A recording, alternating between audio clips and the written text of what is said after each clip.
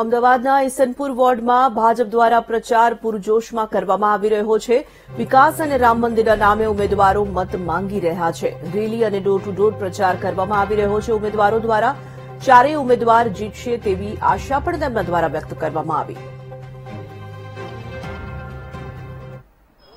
ઈશનપુર વોર્ડમાં ભાજપનો જે પ્રચાર છે તે પૂર જોશથી ચાલી રહ્યો છે. ખાસ કરીને જે ચાર ઉમેદવારો છે, તેઓ અત્યારે પોતાની અલગ અલગ કહી શકાય કે વિસ્તારોમાં જઈ રહ્યા છે અને લોકોને કયા નામથી મત આપવાના છે તે સાથે વાર્તાલાપ કરી રહ્યા છે. કારણ કે ભાજપ છે તે હંમેશા વિકાસના મુદ્દે અને રામ મંદિરના મુદ્દે લોકો સમક્ષ ગયું છે. આ વર્ષે પણ મુખ્ય જે મુદ્દો છે તે રામ મંદિરનો છે. અત્યારે જે ભાજપના જે ઉમેદવારો છે તેમની સાથે વાત કરીશું. બેન લોકો સમક્ષ જઈ રહ્યા છો. કઈ પ્રકારની પ્રતિક્રિયા આપે છે લોકો?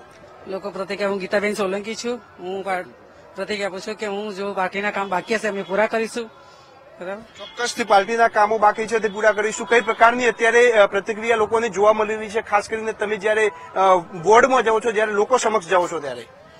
મારું નામ શંકરભાઈ ચૌધરી છે. આ વખતે ભારતીય જનતા પાર્ટીએ મારા ઉપર વિશ્વાસ રાખી મને જે ઉમેદવાર બનાવ્યો છે તો અમારા વોર્ડની અંદર અમારા જે કોર્પોરેટર કાઉન્સિલર શ્રી જે ચાર એમને જે વિકાસના કામો કર્યા છે જે વિશ્વાસ મેળવ્યો છે અને સર્વ સોસાયટીનો વિકાસ કર્યો છે. અમારા ધારાસભ્ય, સંસદ સભ્યશ્રી અને ગુજરાત સરકાર, વિજયભાઈ રૂપાણી, નીતિનભાઈ પટેલે જે પ્રજામાં વિશ્વાસ મેળવ્યો છે, એ વિશ્વાસ લઈને અમે પ્રજા વચ્ચે જઈ રહ્યા છે અને પ્રજાનો અમને એટલો બધો આવકાર મળી રહ્યો છે કે આ વખતનું જે વાતાવરણ જોતા અને પ્રજાનો આવકાર જોતા અમને એવું લાગે છે કે કદાચ કોંગ્રેસના ઉમેદવારની ડિપોઝિટ જપ્ત થશે અને પ્રજા સ્વયંભૂ મતદાન કરવા બહાર નીકળશે અને ભારતીય જનતા પાર્ટીના ચારે ચાર કમરને મત આપી જંગી બહુમતીથી જીતાવશે. ચોક્કસથી અત્યારે આશા વ્યક્ત કરી રહ્યા છે. જે રીતે શંકરભાઈ આશા વ્યક્ત કરી, શું લાગી રહ્યું છે પ્રજાને?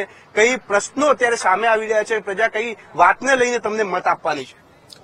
ઈશનપુર વોર્ડની અંદર અત્યારે હું ગૌતમ પટેલ મારા ફરીથી રિપીટ કરવામાં આવે છે અને વિકાસના કામો નરેન્દ્ર મોદી અને વિજયભાઈ રૂપાણી ગુજરાત સરકારના વિકાસના કામોને લઈને અમે આગળ વધી રહ્યા છીએ અને અમારી સોસાયટીઓની અંદર અમે જ્યાં જઈએ ત્યાં અમે રોડ, રસ્તા, લાઇટના કામો લગભગ પૂરા કરી દીધા છે, નેવું ટકા.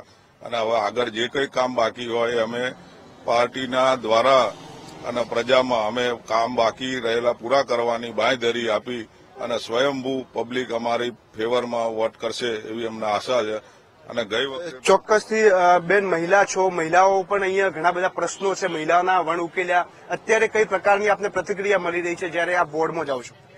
ભારતીય જનતા પાર્ટી કણાવતી શહેર ઈસનપુર પિસ્તાલીસની અંદર, જ્યારે મોવડી મંડળે મારામાં વિશ્વાસ રાખી મને આ ઉમેદવારી પત્ર ભરાવ્યું છે. તો અહીંયા અમારા ઈસનપુર વિસ્તારની અંદર એવા કોઈ મહિલા લગતી કોઈ એવા મોટા પ્રશ્નો નથી. છતાં પણ માનનીય મુખ્યમંત્રીશ્રી અને ગુજરાત સરકાર દ્વારા અથવા તો કેન્દ્ર સરકાર દ્વારા જે પણ યોજનાઓ મહિલાઓ લક્ષી છે. અમે ઘર ઘર પહોંચાડી અને મહિલાઓને વધુમાં વધુ લાભ અપાવીશું. એવી શુભેચ્છા સાથે અમે દરેક મહિલાઓ સાથે જઈશું અને સ્વયંભૂ જ લોકો પોતે વોટ કરવાના છે એવું અમને સંદેશો મળેલો છે. ચોક્કસથી એટલે કહી શકાય કે ઈશનપુરની અંદર અત્યારે તો ભાજપના જે ઉમેદવારો છે અને તેમના જે કાર્યકર્તા છે ભાજપના તે પૂર જોશમાં પ્રચાર કરી રહ્યા છે તેમને આશા છે કે કોંગ્રેસના જે લોકો છે તેમની ડિપોઝિટ જપ્ત થશે તે સાથે તેઓ અત્યારે ઉત્સાહથી જઈ રહ્યા છે. અને ચોક્કસથી કહી શકાય કે ભાજપનો જે પ્રચાર છે તે ઈશનપુરની અંદર ધામધૂમથી ચાલી રહ્યો છે. કેમેરામેન કાર્તિક સાથે જયંતિ ચૌધરી વીટીવી અમદાવાદ.